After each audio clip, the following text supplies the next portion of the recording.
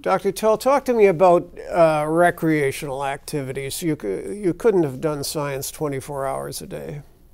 No, well, in, uh, I didn't. In, in, my youth, I, I played tennis in the summer and I curled in the winter. And uh, when, when our family started growing up, I started playing tennis with my daughters again. I, we have two daughters. And then they had family, and they were so thoroughly occupied that we couldn't play tennis anymore. But I continued with the curling, and uh, if, if, I missed a year, it was at in the time I was at Yale, uh, particularly the time I went down to southern Mexico. Uh, not much ice there, and the uh, the I've always enjoyed curling because it's to me sort of like chess on ice. It's uh, the strategy is is very interesting. And uh, of course, there's some issues from a scientific point of view are the major one for a long time was, does sweeping make any difference? And uh, so a group of us, including Harold Johns, uh, thought, we, well, we can measure this.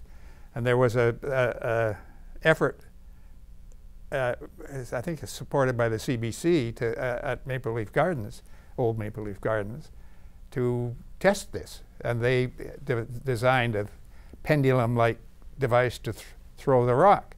And the intent was to use it to throw the rock reproducibly. And it didn't work. The, it wasn't reproducible enough. And then we thought that's the wrong way around. And it was actually a research researcher at the OCI, Mike Routh, who I, I remember suggesting a design that I really liked. And it was to throw have someone, it was me, turned out to be me, throw a lot of curling rocks.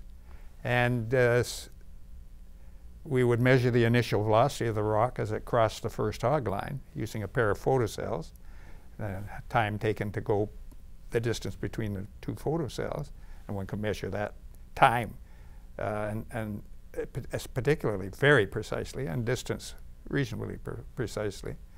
And then every other rock would be swept, and we would measure how far it went.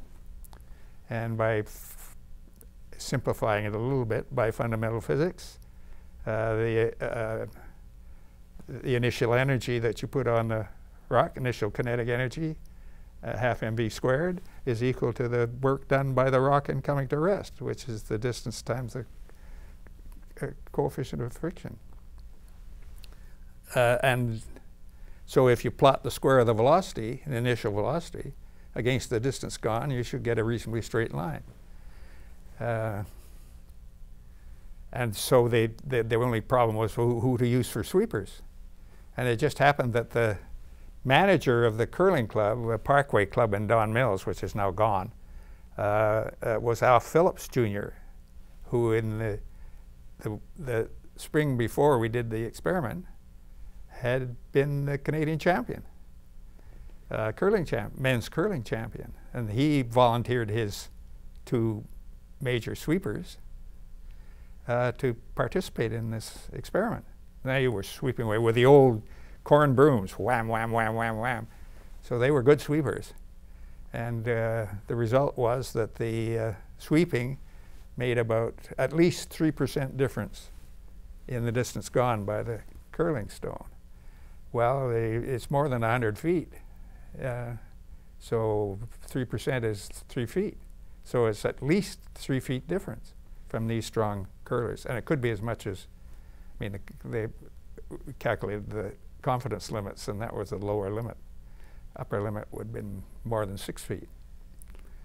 Uh, and that, there it, there it stood until sometime in the night, uh, can't remember exactly when, but around 2000, sometime like that. Uh, Peter Ottensmeyer, who was a, a biophysicist at, now retired at the Princess Mar at the o OCI, uh, a very a talented uh, experimentalist. Uh, I persuaded him that we should repeat the experiment using the, the more modern push brooms. and see if it made any difference. So we did the same experiment, same design again, with push brooms, but this time the stu- just graduate, the student volunteers were doing the sweeping, so they were not skilled or experienced sweepers. And the uh, my memory is that the results were almost exactly the same as the previous ones. So it, the conclusion was that amateurs using these push brooms could get just um, uh, as, as much of effectiveness on the distance gone as the corn brooms being handled by absolutely champion level sweepers. I wanted to do the experiment again and, and find some championship level uh, push broom sweepers to participate, but didn't get to do it. Well, I suppose we should keep our eye on the Internet Journal of Curling Research to, to see the future papers. Thank you very much.